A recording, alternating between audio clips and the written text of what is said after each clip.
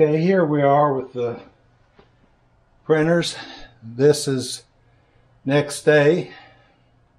I decided to get some sleep last night. So I came down this morning and um, thought I'd pick up where we left off.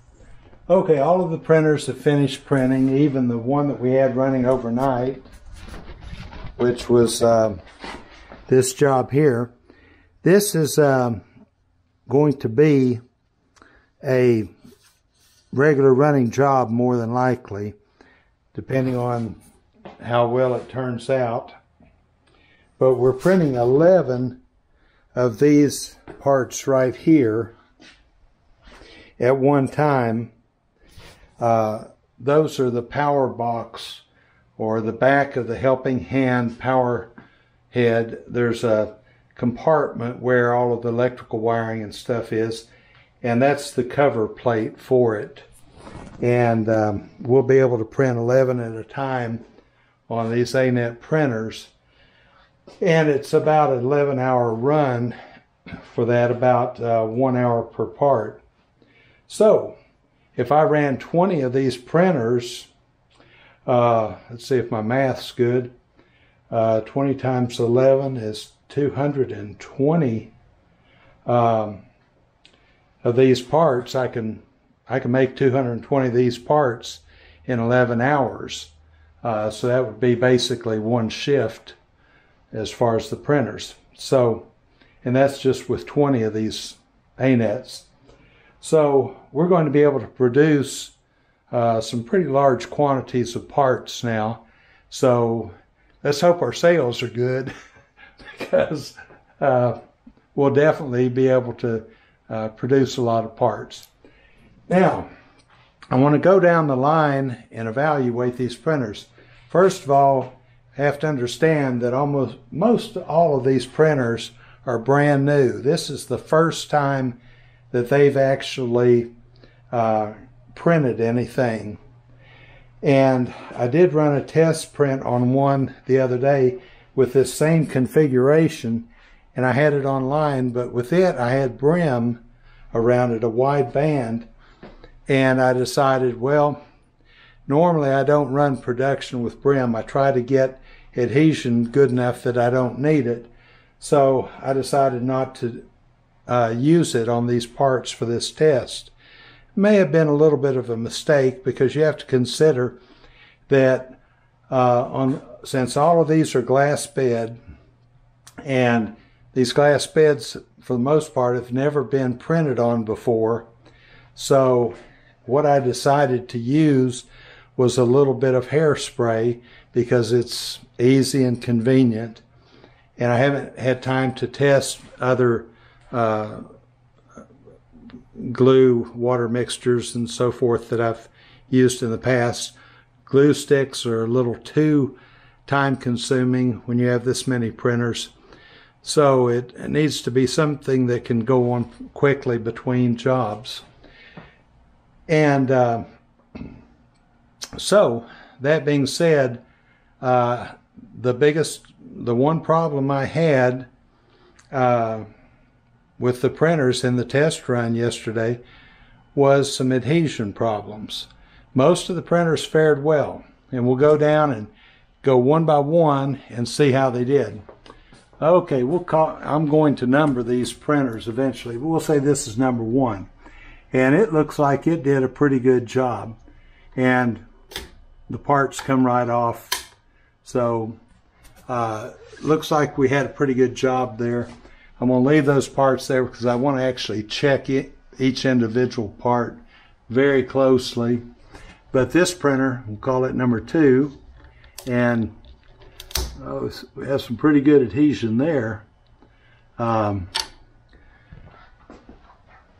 that one looks like it did all right. This one seems to print it all right. That one popped right off. Uh, this will be printer number four, and it pops right off. These parts look like they came out all right. Printer number five, part pops right off. Looks like this one printed pretty good. Printer number six, what happened? Well, what happened, it printed these two parts, but when it got to a certain height, uh, I lost adhesion on this part here. So I stopped the printer. There wasn't any reason to start all over. I got two good parts out of it. So now let's go back down and look at the second row. And the, the top row, by the way, these were all ET4s with automatic leveling. And um, the printers on this row are ET4Xs. Uh, they require manual leveling. And this one, well, adhesion's still pretty good on that one. I may have to heat this up a little bit. That thing was really, was really stuck on there good. Usually they come off these glass beds a little easier. Um, it's good hairspray. So this would be printer number, if we had eight on the top, this would be printer number nine. It looks like it did 10. Got a little flag on it. Um, Gonna have to look at this one, see what happened, but it's pretty obvious that uh, these two parts printed. When it got to this one, it got to the point to where it broke loose. That means usually when the adhesion isn't real good, and you can tell it isn't because these parts just lift off, but when the adhesion's not real good, sometimes they'll do okay in a low profile, but once they get to a certain height, that little bit of friction on there is enough to knock them loose. And that's what happened here. So uh, the printer did all right. It's just the adhesion on that one. And let's see. This be printer 10. Part comes right off. It looks like printed pretty good on that job. Number 11, same thing again. It got up here and it Oh no, I, I know what happened to this one. This one started um, air printing. What happened, the spool of filament, I came over here and I noticed it was sitting there running and nothing was building. It, the first two parts came out okay, but this one, uh, there wasn't any filament coming through and I checked and the spool of filament where the filament went in to the filament break sensor somehow there was a little gob of, of extruded filament, like this stuff here, that had somehow gotten up on that filament and jammed where it was going into the filament break sensor back here.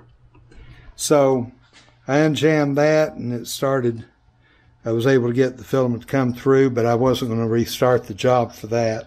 So that's the problem with that one. One of those kind of fluke things. Okay, we're at 9, 10, 11, 12. This is number 13. 13 was lucky today because did a good job. 14 did a good job. Finished the task. 15 I don't know what happened to 15. Well, yes, I do know. Uh, lost adhesion and started sliding parts all over the surface, and I just shut that one down. But again, adhesion problem. And here, this number 16. Looks like we had good adhesion. Parts printed okay. Now we're going to go back down to number 17. Now on this row, these are uh, ET4 Pro printers. And see, they did a good job there. That was uh, 19. This number 20, it did a good job. 21 did a good job. 22 did a good job. 23 did a good job. The Pro printers did really good. And over here, this would be 23. 23 did okay. It's an ET4X. And number 24 got silver flagged here. Again, adhesion. Well, no, this didn't have an adhesion problem. Somehow or another, uh, it offset. I started offset printing here. Uh, so something got hung up there. I'll have to do a little testing and see what's going on with this printer. But anyway, there you have it. So the summary or the moral of the story is that we had 13 that had absolutely no problems. Uh, one of them was a special part, that job that was printing, it had no problems.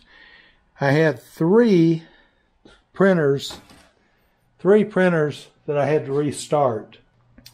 After I'd loaded the filament, I hadn't cleaned off the uh, nozzle and I had some gummy stuff go out and it just the very first layer was uh, messy or it looked like I needed a little adjustment on the leveling. So I stopped those jobs, made an adjustment, and then restarted them within a minute or two. So, and then they continued and printed on through. So those are the three restarts. And then the five that have these little silver tags we talked about are the ones that didn't completely finish. Most of them did finish at least two of the parts, but they messed up and lost adhesion on the third part. So, overall, I don't think it was a bad day. I think it was, uh, considering brand new printers out of the box, I don't know how many of you uh, get a brand new printer and start printing with it and never have a problem. But in my case, I had my share of problems. And I always have to spend time tweaking these printers. That's why I didn't print a real large complex print job here for my test. I wanted something I could get through quickly. And I'll probably run another test, possibly these same identical parts, because the parts I can use. And, um,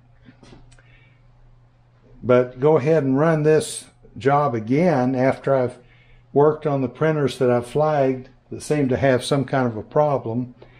And it, then after I check the parts, if I see a problem with the parts where I have some stringing or something like that going on, then I'll do some more adjustments uh, to correct that.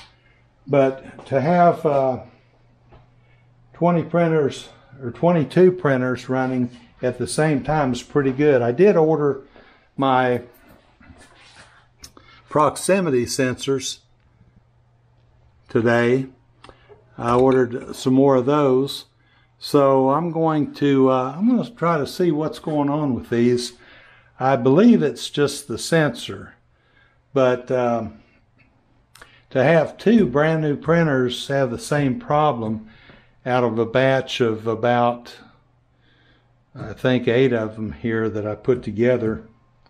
Um, that, that's kind of odd. That bothers me a little bit that uh, that that's going on. So I'm going to get to the root of it and I'm going to fix them and see what caused the problem.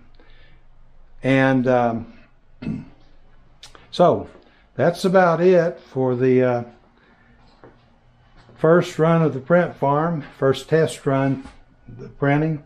Um, I think you saw the power over there. It looked like uh, running the 22 printers since we weren't able to run the two with the problem up here with the sensor.